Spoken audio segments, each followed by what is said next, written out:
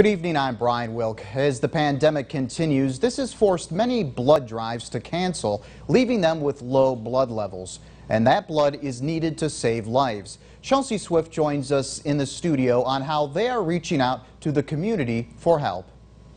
Hi, Brian. The blood bank is open on a Sunday to help increase donations, and one church is teaming up with a nonprofit for a blood drive.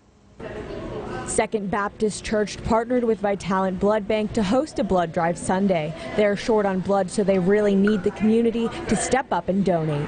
Our supply plummeted, so now we're trying to build that back up as well as, but people are still needing blood for surgeries and everything, so it's very important that people come out and uh, get us out of this shortage. Clark says each pint of blood can potentially save three lives, and about 40 people will come out to donate at Second Baptist Church. Some of these donors are also able to provide plasma to COVID patients if they themselves have recovered from the virus. We're also doing the antibody testing for COVID, so um, your blood could potentially save somebody who is, di is diagnosed with COVID. We'd use their plasma and they would be considered a convalescent donor. But safety is still a top priority. Donors were instructed to wear masks and have their temperature checked when they walked in. One donor tells us despite fears of COVID-19, the blood bank is a safe place to give blood and make a difference. They don't have to be afraid. They, they, I mean, these places are taking every precaution that they possibly can, so there's no reason to be afraid to come out and donate.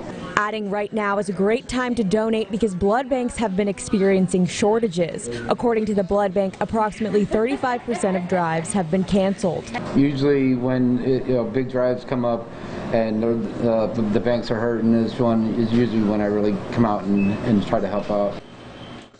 This coming Wednesday at the Sheridan Vitalant Blood Bank will be collecting more donations from 2, 2 p.m. to 6 p.m. Staff saying they recommend calling ahead, but they do accept walk-ins. Brian?